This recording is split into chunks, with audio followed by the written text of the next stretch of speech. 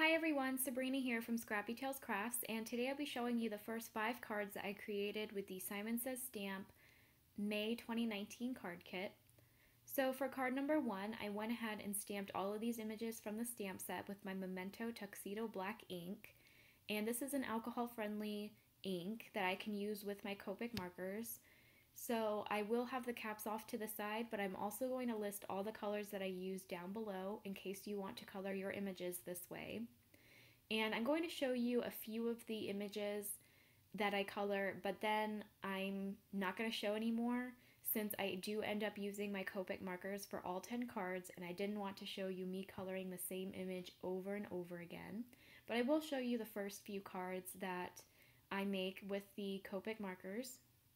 And for this flower, I decided to color it in my yellow markers.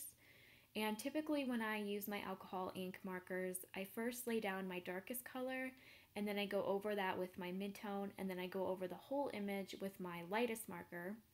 And actually my midtone, the Y13, was running dry. So you will see that I go over that image several times with the Y13 since it started to look more like the Y11 which was my lightest color, and I wanted to build up the contrast. But typically, yellows are very easy to blend, and I find that the older I get, the more I like yellow. So you will see in a few of these cards, I do color my images in yellow. And I'm also going to show you the flower bud, which I decided to color in coral colors. And then I'll also show you the greenery of the flower bud, but then the other two images I will color off camera. And after that, I'm going to go over all of these images with my Wink of Stella brush, and then I'll also fussy cut all of these images. And I actually created this Wink of Stella brush myself. So once I ran out of my Wink of Stella, I refilled it up with water, and then I added Perfect Pearls in the shade Gold. And it almost looks exactly like the original Wink of Stella pen. So I thought it was really cool and I wanted to share that in case um, you wanted to try it. And if you do, please let me know if you like it down below. So now off camera, I did die cut a oval from my Adaris die that I had in my stash. And then I stamped You Are Beautiful on top of the oval. And then I also die cut an oval frame with the same Darice dies. And I'm going to glue that down on top of my oval with some art glitter glue. I'll place that onto my card base and then try to arrange the flowers in a way that I like. And I do end up liking that. And I thought that the white background was too plain, so I will run a uh, Darice embossing folder through my Gemini to give the white background some texture. It has kind of like a lattice design, and I thought that was really pretty. I do end up adding a lot of double-sided tape since it is embossed I don't want to risk it um, peeling off of the card base. And this green card base I created with the cardstock that came in the kit. And now I'm going to pop up my oval with some foam tape. This foam tape is from Uline. I'm going to try to center it as best I can. And then I'm going to use a combination of art glitter glue and foam tape behind these flowers so that it is level with the oval.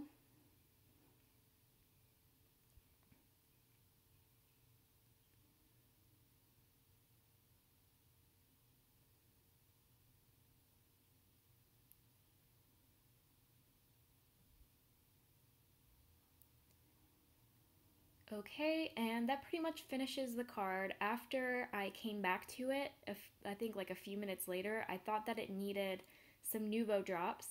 And I think this is um, called Rose, Rose Drops or something like that. And it's like the clear translucent kind. So I thought that was really pretty and I added that. Here's a close-up.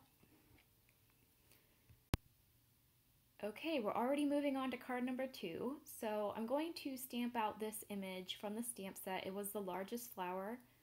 And I'm going to stamp it with my Versamark ink and then I'll pour some gold embossing powder over it. This gold embossing powder is from Hero Arts. It came in one of their kits in the past and it's now my favorite gold embossing powder. So if I can find it, I will link it down below. And I'm also going to stamp my sentiment, which reads, You are so special to me, and also gold heat emboss that.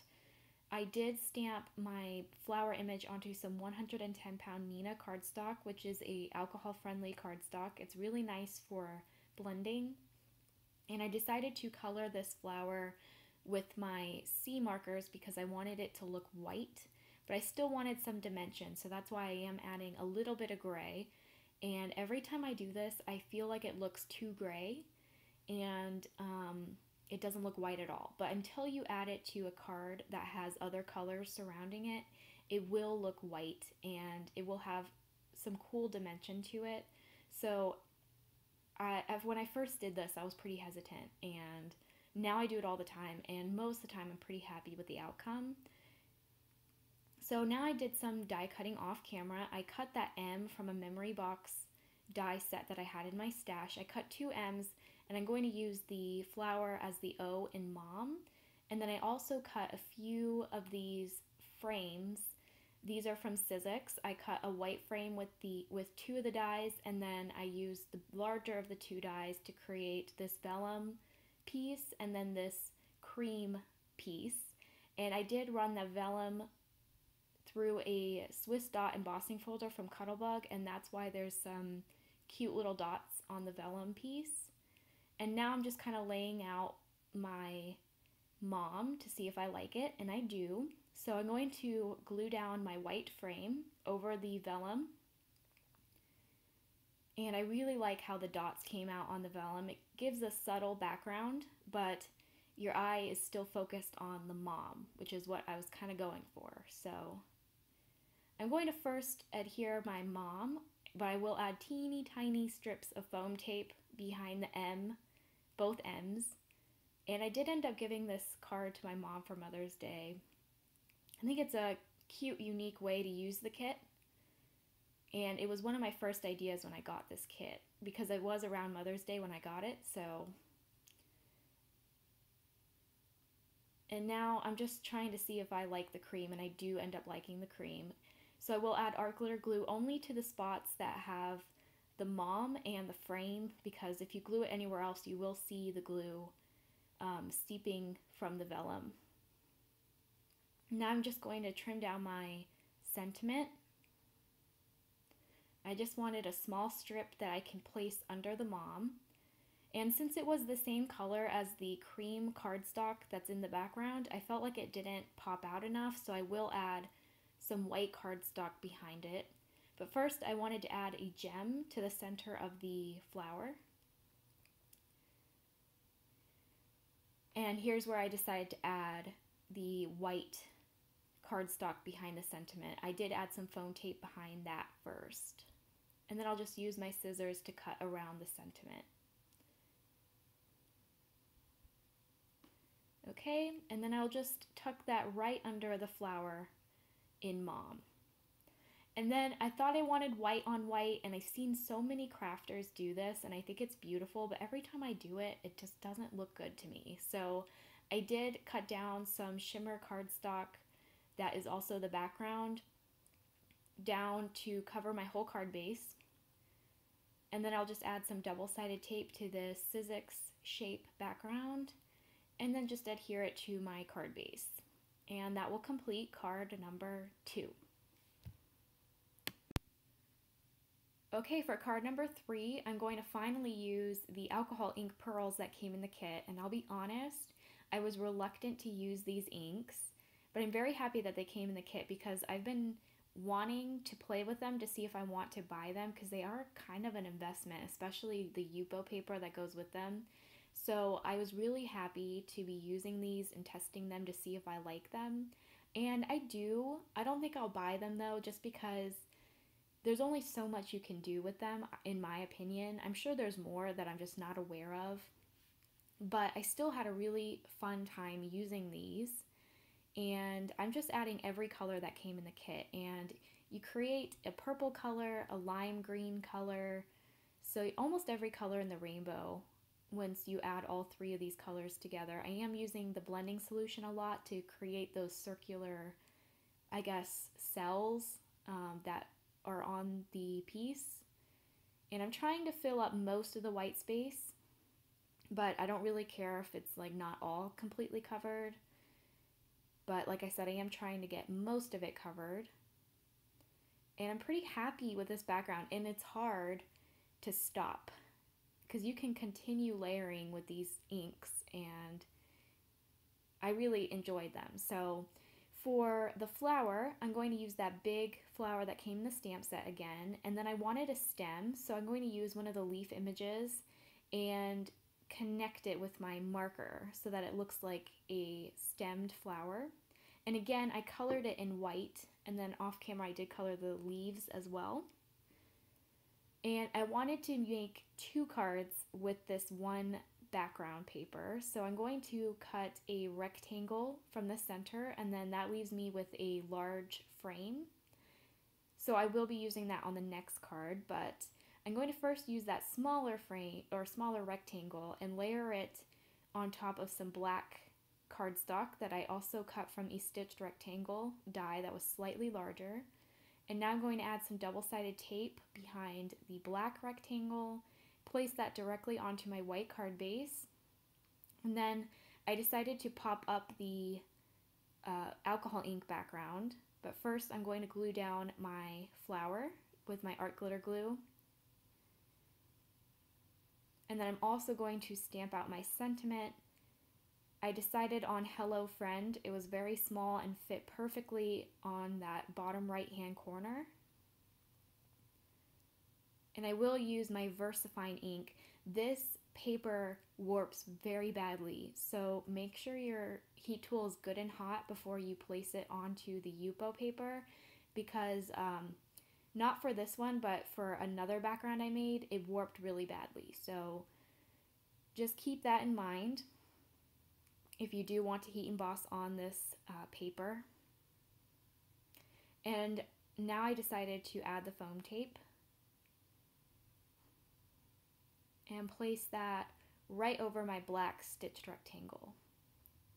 And that's going to complete that card after I add some sparkling sequins. This was from, I believe it was from a Simon kit previously, but I'm not totally sure. It might have been a Hero Arts kit and they were really pretty. I also added a clear gem to the center of that flower and then I used a pink alcohol ink marker to color that in.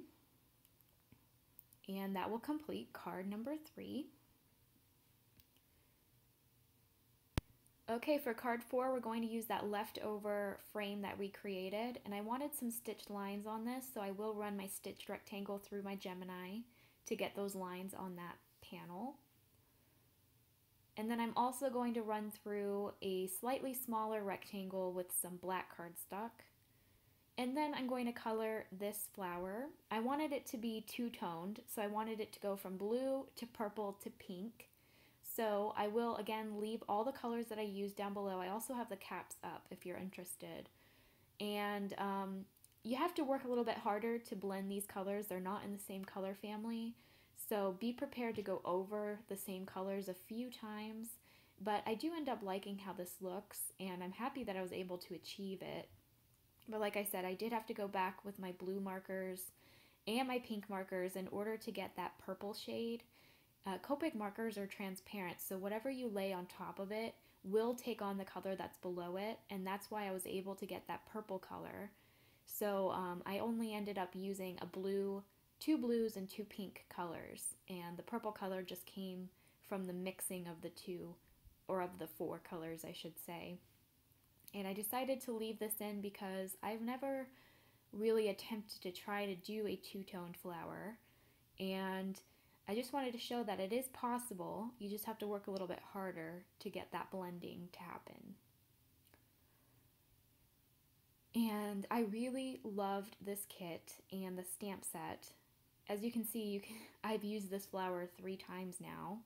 It was probably my favorite flower from the kit. But I had so many ideas with this kit. I will have five more in part two. But honestly, I could have made several more cards. I had a lot of alcohol ink left, and I think I made four or five alcohol inked backgrounds. And I still had a lot of the pattern paper left, and then of course the stamp set. So I'm very happy with how all 10 cards came out with this kit, and I'm happy that I bought it. So it is sold out, but I will leave the stamp set below in case you want the stamp set. Okay, and so my flower is done. I will off camera fussy cut it and now I'm going to add some acetate behind this frame. I will be making a shaker card.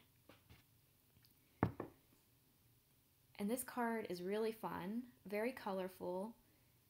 And like I said, that it looks like there's pretty much every color in the rainbow on this panel. So now I'm going to glue down my flower with my art glitter glue.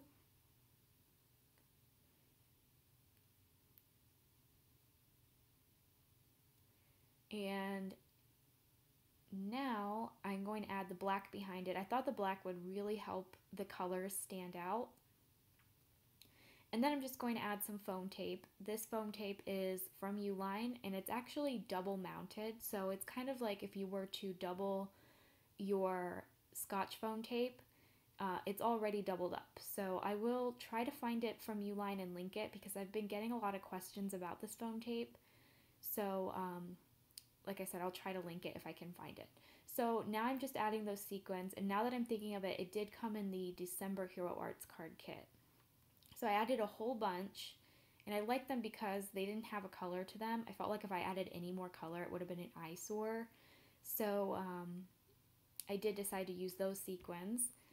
And there is the shaker, complete. And I'm just trimming off the excess black that was hanging from the sides. Okay, and then I'm taking my white card base. All of the card bases that weren't from the kit I created with 110 pound Neenah cardstock. So I just added some double-sided tape and now I'm adhering it onto my card base. I'm actually struggling to adhere it onto my card base. And then I will now stamp out my sentiment. I did add a clear gem to the flower. And I white heat embossed You Are So Special to Me onto some black cardstock and just trimmed it down to a strip and added it to the bottom. Here is the completed card. I am slowing it down so you can see all the shaker bits and not get a headache from the shaking. So that completes card number four. All right, so we're now on to the last and final card of part one, and this card happens to be my favorite of the 10 that I created. And it's not going to be for everyone. It ends up looking abstract, and personally, I love abstract art. So that's exactly what I was going for, and what I envisioned in my head was exactly how it turned out, which was made me very happy because as crafters, you know that doesn't always happen. But there were a few mistakes that I'm going to leave in and show you just to show you how I fixed them. I wanted to use this stamped leaf image, and I wanted it because I wanted the leaves, and I'm not confident in my drawing of leaves. So I'm struggling to try to wipe off all the ink that I don't want. And this first flower ends up looking okay. I do have to go over it with my Copic liner. And I just wasn't liking it. I knew I wouldn't be able to do the back or the, I guess, the middle flower it just wasn't going to be possible. So at this point, I was going to try to hand draw them, and you really don't have to be perfect since it is an abstract look. But this flower had like two lines attached to it, and I just didn't like it. So you can erase on Yupo paper if you have rubbing alcohol. So that's what I did. And as you can see, it's a perfectly white sheet of paper, and you can try again. So this time, I stamped it the exact same way. And I'm going to use my Copic liner just to draw lines. I'm not going to worry about the leaves. The more abstract it looks, the better. And what was really appealing to me about the stamp set was the thin lines. So I end up really liking the stems because it does look like uh, a very whimsical look to these flowers. Okay, and here's mistake number two. You can see how badly warped that Yupo paper got. So you will see how I fix that, but first I'm going to add some blending solution to each of the flowers and then I'm going to drop the pink color right on top of the flowers. And then I'm going to take a straw and move that color around. And that's going to give me some cool looking splatters. And again, it's not for everyone. Abstract art is um, not always appreciated, and I get that, but honestly, it's my favorite one. And I'm now going to use an alcohol swab And I'm trying to lift up some of that color so that I get some darker and lighter tones of the pink. And then I'm just going to go over it again. So I'm adding some blending solution to each of the flowers, dropping in some more pink, and using my straw to get the splatters that I was really looking for.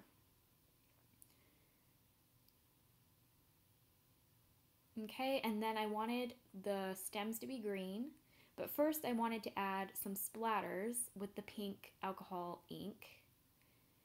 So um, I did add some blending solution and some of the pink color onto my glass mat. And I'm taking a paintbrush and splattering some of the pink onto my panel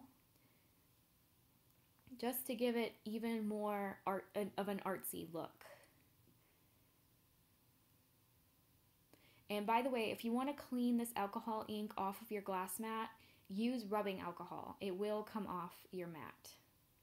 So I think this is the last time I go in with my straw. I was just having way too much fun with this. And again, it's really hard to know when to stop. But I think at this point I'm like, okay, let's move on to the green.